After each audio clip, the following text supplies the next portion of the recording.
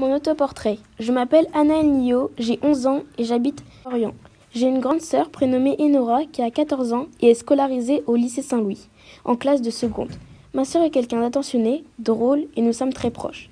Je suis métisse car ma mère est africaine et mon père européen. Mes cheveux sont bouclés et de couleur marron foncé.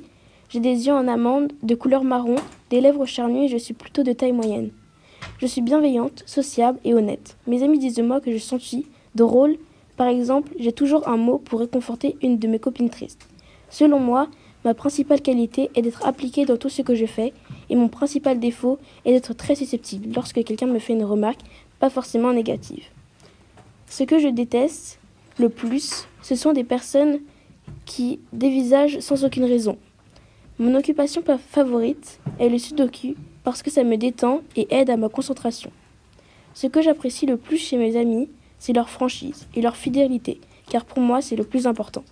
Ma couleur que je préfère est le orange parce que ça me rappelle les couchers de soleil. Ma nourriture est un plat de gnocchi et ma boisson préférée est le Sprite, car j'aime les boissons gazeuses. La fleur que j'aime le plus est la rose rouge, car pour moi ça représente l'amour.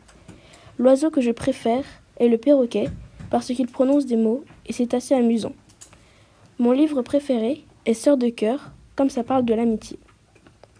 Ma musique préférée est Fade Up, ça m'ambiance, et ma chanteuse préférée est Whitney Houston, parce que ses chansons sont super belles.